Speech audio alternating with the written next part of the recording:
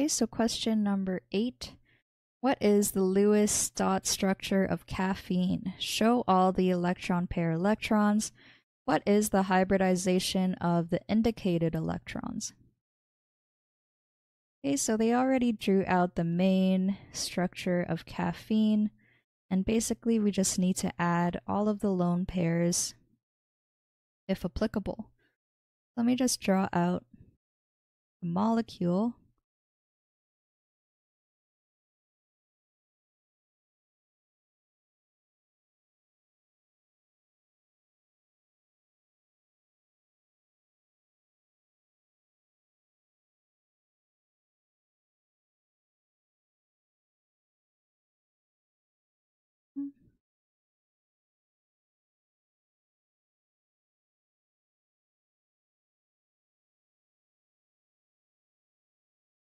Okay, so I just drew what was given in the question.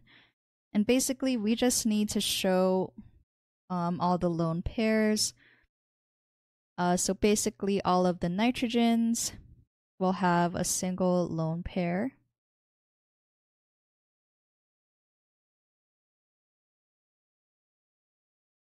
Just to complete their octet.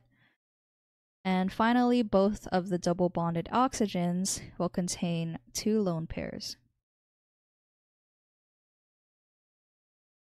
Okay, so this is the Lewis dot structure of caffeine. And now we need to know the hybridization of each of the indicated atoms. So this is pointing at, I believe, the carbon right here and we are looking at this nitrogen, which is B, and then finally this carbon here, which is C.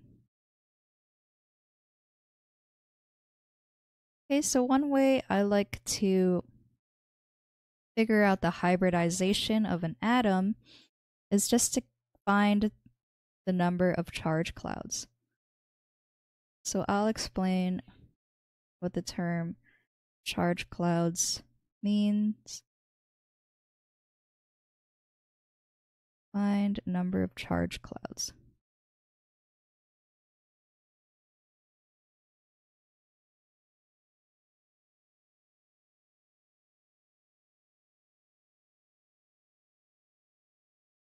So what I mean by charge cloud, this can either be a lone pair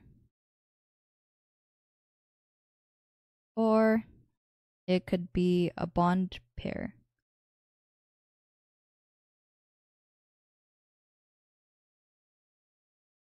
Or like a bonded atom.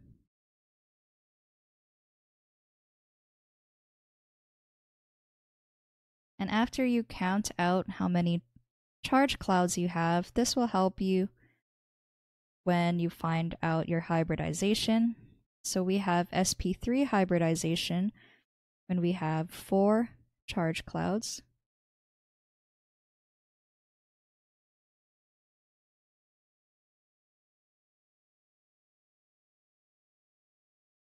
We have sp2 and there are three. And we have sp when we only have two.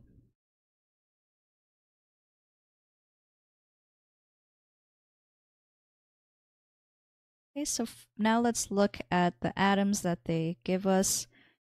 So carbon is like right here.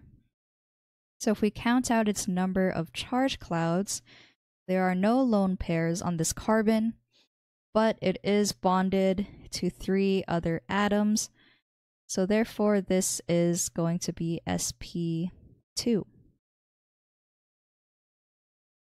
Now let's look at B.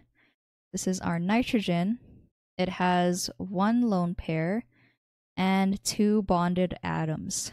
So that means it has three charge clouds as well, and it will also be sp2.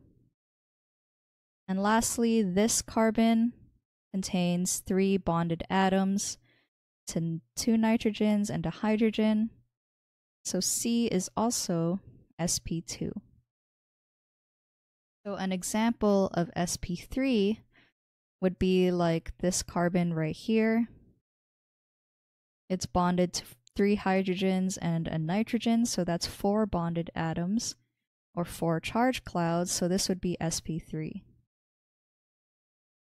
And there's no example of any sp atoms, but an example,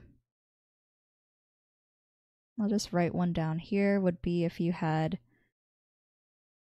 carbon that was triple bonded to another carbon. Uh, this central carbon has only two charge clouds, so this would just be sp. Okay, so that's a brief explanation on how one can calculate hybridization. Now let's see what the junior tutor said. They drew out the Lewis structure and said that all of the atoms had an sp2 hybridization, so this solution is correct.